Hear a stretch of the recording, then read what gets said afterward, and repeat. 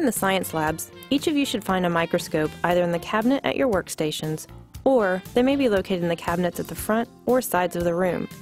Locate the microscopes in your laboratory and follow these instructions carefully.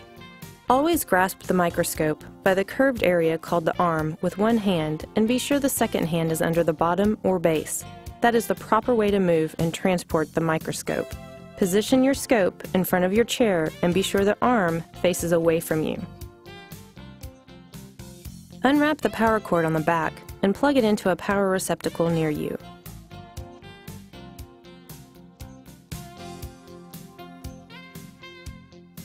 Look at the base area on the left side toward the back.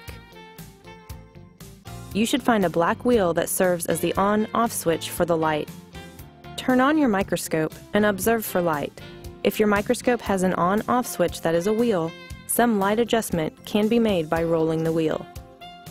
At the top of the microscope facing you, you should find two eyepieces or oculars. When using the scope, be sure you look into both eyepieces at the same time.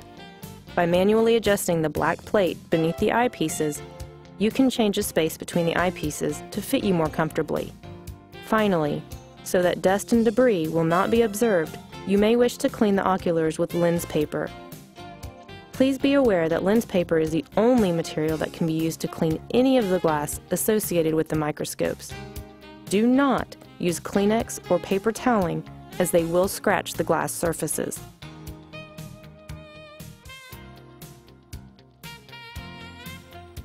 I have found that I like to wipe my slide first, just to be sure no lint or fingerprint grease gets in the way. To make a wet mount, a drop of water or other specified liquid is placed in the center of the slide.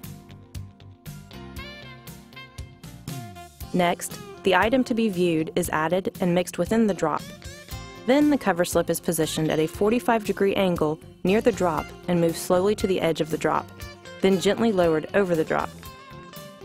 I like to look for bubbles, and if present, try to gently tap the cover slip to disperse them.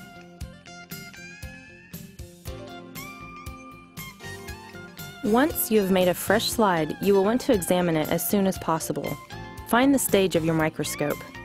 Be sure it is as far down as possible and use the coarse adjustment knob to lower it if necessary.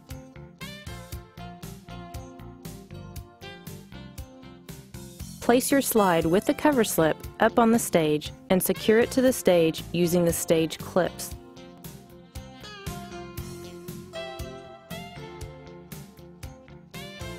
Once secured, the slide can be moved left, right, forward, or backward by use of the slide moving knobs attached below the stage on the right side.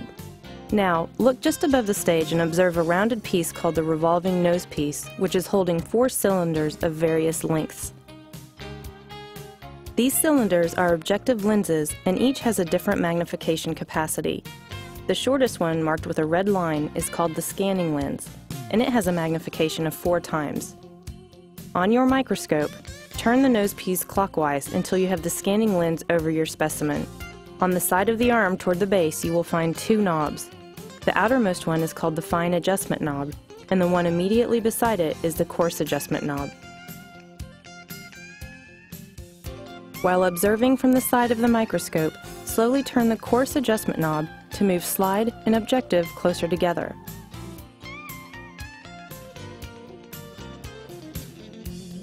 One last thing you may need to do is to increase or decrease the brightness of your field by controlling the amount of light. Light enters a microscope from a light source on the base into an area known as the diaphragm and up to a part called the condenser. On the diaphragm is a lever that can be moved left to right which helps increase or decrease light. It works much like the pupil area of your own eye. In addition, a condenser adjustment knob on the left side can move the condenser up and down. The end of the lab is a critical time for microscope care. How you put up your microscope is extremely important. Listen carefully. Your instructor may add personal comments. But let's start now. Turn the nose piece so the scanning lens is in place. Use the coarse adjustment knob to lower the stage as far down as possible. Remove slides from the microscope. If any of your lenses were dirty, clean them carefully with lens paper. Check the stage and clean up any debris that might be on it. Move the stage area so the black mechanical slide bar is flush with the right side of the stage. Be sure the stage is flush at the front. Be sure the iris diaphragm is completely open by turning the lever to the left. Use the condenser knob to be sure the condenser is all the way up. Turn off the light, unplug the scope, and wrap the cord around the clips on the back side of the arm.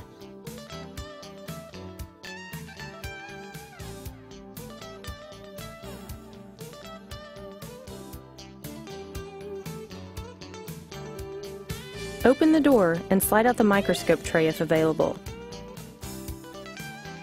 Place the scope on the tray or cabinet shelf with the arm facing outward. Slide in and close the door.